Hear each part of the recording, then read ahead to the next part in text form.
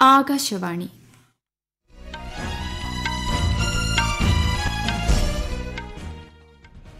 നമസ്കാരം. വാർത്തകൾ വായിക്കുന്നത് കൃഷ്ണ.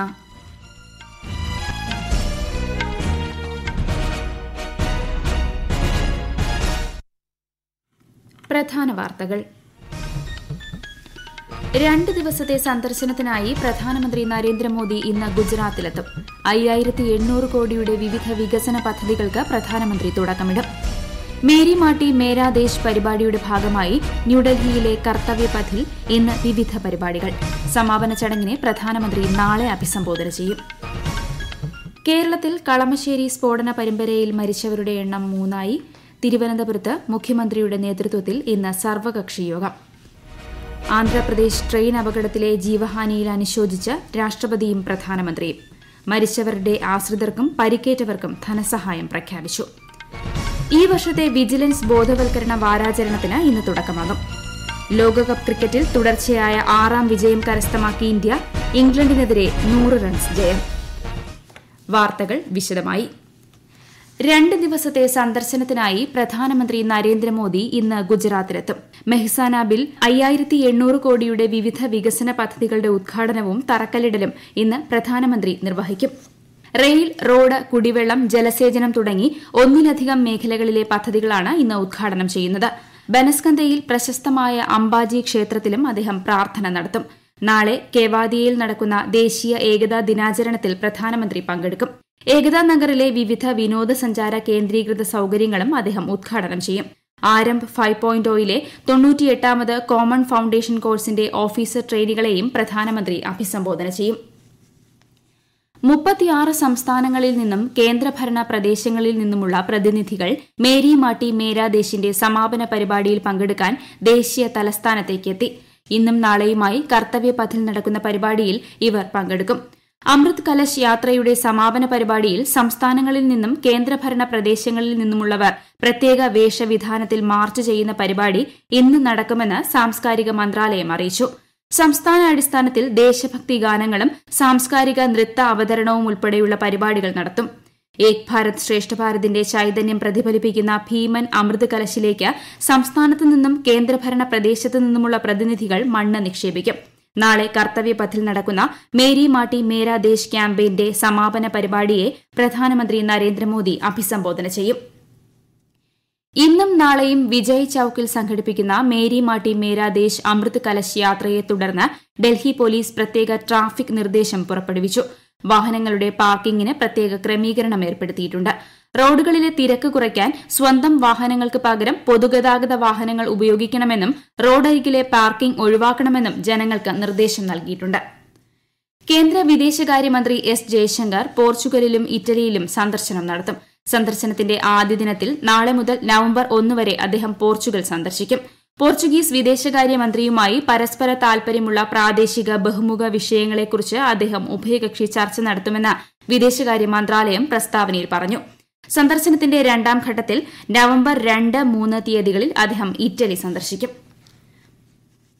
കേരളത്തിൽ കളമശ്ശേരി സ്ഫോടന പരമ്പരയിൽ മരിച്ചവരുടെ എണ്ണം മൂന്നായി. തൊണ്ണൂറ്റിയഞ്ച് ശതമാനം പൊള്ളലേറ്റ് എറണാകുളം മെഡിക്കൽ കോളേജിൽ പ്രവേശിപ്പിച്ച പന്ത്രണ്ട് വയസ്സുള്ള കുട്ടി ഇന്നലെ അർദ്ധരാത്രിയോടെ മരണത്തിന് കീഴടങ്ങി. സംസ്ഥാന സർക്കാർ രൂപീകരിച്ച മെഡിക്കൽ ബോർഡ് നിർദ്ദേശിച്ച പ്രകാരം കുട്ടിക്ക് മരുന്ന് നൽകിയെങ്കിലും വെന്റിലേറ്ററിലുള്ള കുട്ടി ചികിത്സയോട് പ്രതികരിച്ചില്ലെന്ന് ആശുപത്രി അധികൃതർ പറഞ്ഞു. സ്ഫോടനത്തിൽ നാൽപ്പതിലധികം പേർക്ക് പരിക്കേറ്റിട്ടുണ്ട്. പതിനാറ് പേർ ഐസിയുവിൽ ചികിത്സയിലാണ്.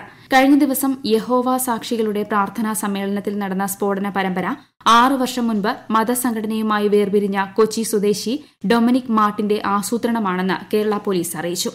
അതിനിടെ കൊച്ചിയിലെത്തിയ ഡൽഹിയിൽ നിന്നുള്ള N S G N I A വിദഗ്ധർ ഇന്നലെ വൈകിട്ട് സ്ഫോടന സ്ഥലം സന്ദർശിച്ചു. കേസ് അന്വേഷിക്കാൻ ക്രമസമാധാന ചുമതലയുള്ള എം ആർ അജിത് കുമാറിന്റെ നേതൃത്വത്തിൽ ഇരുപത്തിയൊന്നംഗ പ്രത്യേക അന്വേഷണ സംഘത്തെ സംസ്ഥാന പോലീസ് നിയോഗിച്ചിട്ടുണ്ട്. സ്ഫോടന പരമ്പരയുടെ പശ്ചാത്തലത്തിൽ മുഖ്യമന്ത്രി പിണറായി വിജയന്റെ നേതൃത്വത്തിൽ ഇന്ന് രാവിലെ തിരുവനന്തപുരത്ത് സർവകക്ഷി യോഗം ചേരും.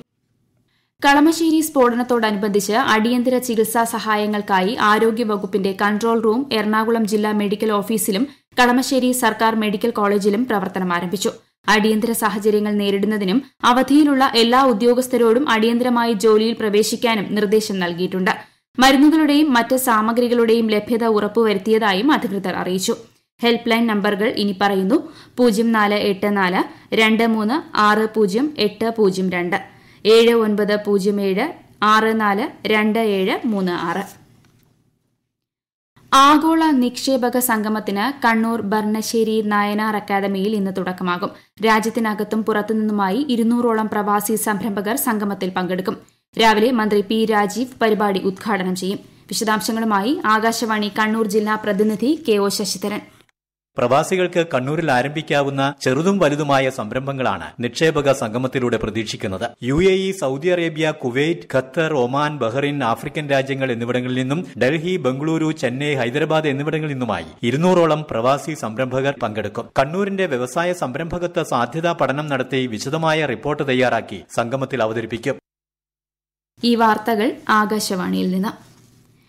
മുഖ്യമന്ത്രി പിണറായി വിജയൻ രാജിവെക്കണമെന്നാവശ്യപ്പെട്ട് എൻ ഡി എയുടെ നേതൃത്വത്തിൽ സെക്രട്ടേറിയറ്റ് ഉപരോധം ആരംഭിച്ചു. ഉപരോധം ബി ജെ പി ദേശീയ അധ്യക്ഷൻ ജെ പി നദ്ദ ഉദ്ഘാടനം ചെയ്യും. കേരളത്തിൽ വരും ദിവസങ്ങളിൽ ഇടിമിന്നലോട് കൂടിയ മഴയ്ക്ക് സാധ്യതയെന്ന് കേന്ദ്ര കാലാവസ്ഥാ വകുപ്പ് ഇന്ന് വിവിധ ജില്ലകളിൽ മഞ്ഞ ജാഗ്രത പ്രഖ്യാപിച്ചു. പത്തനംതിട്ട ആലപ്പുഴ കോട്ടയം എറണാകുളം ഇടുക്കി തൃശൂർ പാലക്കാട് മലപ്പുറം കോഴിക്കോട് വയനാട് ജില്ലകളിലാണ് ഇന്ന് മഞ്ഞ ജാഗ്രത പ്രഖ്യാപിച്ചിട്ടുള്ളത്. ആന്ധ്രാപ്രദേശിലെ വിജയനഗരം ജില്ലയിൽ രണ്ട് പാസഞ്ചർ ട്രെയിനുകൾ കൂട്ടിയിടിച്ച് ആറുപേർ കൊല്ലപ്പെട്ടു. ഇരുപതിലധികം പേർക്ക് പരിക്കേറ്റു. East coast railway zone Waltair ഡിവിഷനിലെ കണ്ടകാപ്പള്ളിക്കും അലമാന്തയ്ക്കും ഇടയിലുള്ള വിശാഖപട്ടണം റായഗഡ പാസഞ്ചർ ട്രെയിനും വിശാഖപട്ടണം പലാസ പാസഞ്ചർ ട്രെയിനുമാണ് ഇടിച്ചത്. മൂന്ന് കോച്ചുകൾ പാളം തെറ്റി. പരിക്കേറ്റവരെ വിശാഖപട്ടണം വിജയനഗരം ആശുപത്രികളിലേക്ക് മാറ്റി. ആന്ധ്രാപ്രദേശിൽ പാസഞ്ചർ ട്രെയിൻ പാളം തെറ്റി ജീവഹാനി ഉണ്ടായതിൽ രാഷ്ട്രപതി ദ്രൌപതി മുർമു ദുഃഖം രേഖപ്പെടുത്തി. തന്റെ ചിന്തകളും പ്രാർത്ഥനകളും ദുഃഖിതരായ കുടുംബങ്ങൾക്കൊപ്പമാണെന്നും പരിക്കേറ്റവർ എത്രയും വേഗം സുഖം പ്രാപിക്കട്ടെയെന്നും രാഷ്ട്രപതി സമൂഹമാധ്യമത്തിൽ കുറിച്ചു. ദുരന്തത്തിൽ മരിച്ചവരുടെ അടുത്ത ബന്ധുക്കൾക്ക് പ്രധാനമന്ത്രിയുടെ ദേശീയ ദുരിതാശ്വാസ നിധിയിൽ നിന്ന് രണ്ട് ലക്ഷം രൂപ ധനസഹായം പ്രഖ്യാപിച്ചു. പരിക്കേറ്റവർക്ക് അൻപതിനായിരം രൂപ നൽകുമെന്ന് പ്രധാനമന്ത്രിയുടെ ഓഫീസ് അറിയിച്ചു. പ്രധാനമന്ത്രി നരേന്ദ്രമോദി സ്ഥിതിഗതികൾ അവലോകനം ചെയ്തതായി റെയിൽവേ മന്ത്രി അശ്വനി വൈഷ്ണവ് പറഞ്ഞു. മരിച്ചവരുടെ ആശ്രിതർക്ക് പത്ത് ലക്ഷം രൂപയും ഗുരുതരമായി പരിക്കേറ്റവർക്ക് രണ്ടര ലക്ഷം രൂപയും നിസ്സാര പരിക്കുകൾക്ക് അൻപതിനായിരം രൂപയും റെയിൽവേ ധനസഹായം അനുവദിച്ചതായി കേന്ദ്രമന്ത്രി വ്യക്തമാക്കി. രണ്ടായിരത്തി ഇരുപത്തിമൂന്നിലെ വിജിലൻസ് ബോധവൽക്കരണ വാരം ഇന്ന് മുതൽ നവംബർ അഞ്ച് വരെ ആചരിക്കും. അഴിമതി വേണ്ട രാഷ്ട്രത്തോട് പ്രതിബദ്ധത പുലർത്തുക എന്നതാണ് ഈ വർഷത്തെ പ്രമേയം. സർദാർ വല്ലഭായ് പട്ടേലിന്റെ ജന്മദിനമായ ഒക്ടോബർ മുപ്പത്തിയൊന്നിന് എല്ലാ വർഷവും വിജിലൻസ് ബോധവൽക്കരണ വാരം ആചരിക്കുന്നു. സമഗ്രത പ്രതിജ്ഞ ചൊല്ലി ബോധവൽക്കരണ വാരാചരണം ആരംഭിക്കും. ഹമാസ് മേഖലകളിൽ ആക്രമണം കടുപ്പിച്ച ഇസ്രയേൽ. കൂടുതൽ സൈനികർ ഗാസയിലേക്ക് കടന്നതായി ഇസ്രയേലി പ്രതിരോധ സേന. വിശദാംശങ്ങളിലേക്ക്.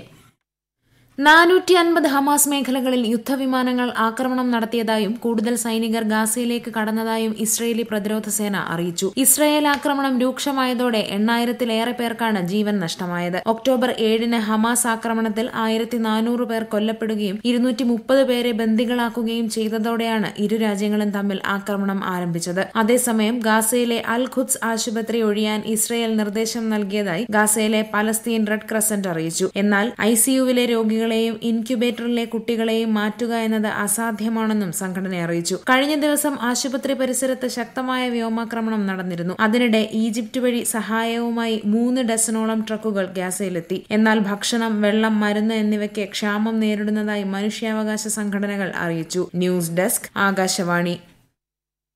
I C C ലോകകപ്പ് ക്രിക്കറ്റിൽ തുടർച്ചയായ ആറാം വിജയം കരസ്ഥമാക്കി ഇന്ത്യ. ഇന്നലെ ലക്നൌവിൽ നടന്ന മത്സരത്തിൽ ഇന്ത്യ ഇംഗ്ലണ്ടിനെ നൂറ് റൺസിന് പരാജയപ്പെടുത്തി. ഇന്ത്യ ഉയർത്തിയ ഇരുന്നൂറ്റി മുപ്പത് റൺസ് വിജയലക്ഷ്യം പിന്തുടർന്ന ഇംഗ്ലണ്ട് മുപ്പത്തിനാല് പോയിന്റ് അഞ്ച് ഓവറിൽ നൂറ്റി ഇരുപത്തിയൊൻപത് റൺസിന് പുറത്താകുകയായിരുന്നു നിയമസഭാ തെരഞ്ഞെടുപ്പ് നടക്കുന്ന മധ്യപ്രദേശിൽ ഒറ്റഘട്ടത്തിലേക്കും ഛത്തീസ്ഗഡിൽ രണ്ടാം ഘട്ടത്തിലേക്കുമുള്ള നാമനിർദ്ദേശ പത്രിക സമർപ്പിക്കാനുള്ള സമയപരിധി ഇന്ന് അവസാനിക്കും. രാജസ്ഥാനിലെ ഇരുന്നൂറ് നിയമസഭാ മണ്ഡലങ്ങളിലേക്കുള്ള തെരഞ്ഞെടുപ്പിന്റെ നാമനിർദ്ദേശ പത്രിക സമർപ്പണം ഇന്ന് ആരംഭിക്കും. പത്രിക സമർപ്പിക്കാനുള്ള അവസാന തീയതി അടുത്ത മാസം ആറാണ്. പ്രധാന വാർത്തകൾ വീണ്ടും. രണ്ട് ദിവസത്തെ സന്ദർശനത്തിനായി പ്രധാനമന്ത്രി നരേന്ദ്രമോദി ഇന്ന് ഗുജറാത്തിലെത്തും. അയ്യായിരത്തി എണ്ണൂറ് കോടിയുടെ വിവിധ വികസന പദ്ധതികൾക്ക് പ്രധാനമന്ത്രി തുടക്കമിടും. മേരി മാട്ടി മേരാദേശ് പരിപാടിയുടെ ഭാഗമായി ന്യൂഡൽഹിയിലെ കർത്തവ്യ പഥിൽ ഇന്ന് വിവിധ പരിപാടികൾ സമാപന ചടങ്ങിനെ പ്രധാനമന്ത്രി നാളെ അഭിസംബോധന ചെയ്യും. കേരളത്തിൽ കളമശ്ശേരി സ്ഫോടന പരമ്പരയിൽ മരിച്ചവരുടെ എണ്ണം മൂന്നായി. തിരുവനന്തപുരത്ത് മുഖ്യമന്ത്രിയുടെ നേതൃത്വത്തിൽ ഇന്ന് സർവകക്ഷി യോഗം. ആന്ധ്രാപ്രദേശ് ട്രെയിൻ അപകടത്തിലെ ജീവഹാനിയിൽ അനുശോചിച്ച് രാഷ്ട്രപതിയും പ്രധാനമന്ത്രിയും മരിച്ചവരുടെ ആശ്രിതർക്കും പരിക്കേറ്റവർക്കും ധനസഹായം പ്രഖ്യാപിച്ചു. ഈ വർഷത്തെ വിജിലൻസ് ബോധവൽക്കരണ വാരാചരണത്തിന് ഇന്ന് തുടക്കമാകും. ലോകകപ്പ് ക്രിക്കറ്റിൽ തുടർച്ചയായ ആറാം വിജയം കരസ്ഥമാക്കി ഇന്ത്യ ഇംഗ്ലണ്ടിനെതിരെ നൂറ് റൺസ് ജയം. വാർത്തകൾ കഴിഞ്ഞു. അടുത്ത വാർത്താ പ്രക്ഷേപണം ഉച്ചയ്ക്ക് പന്ത്രണ്ട് മുപ്പതിന്.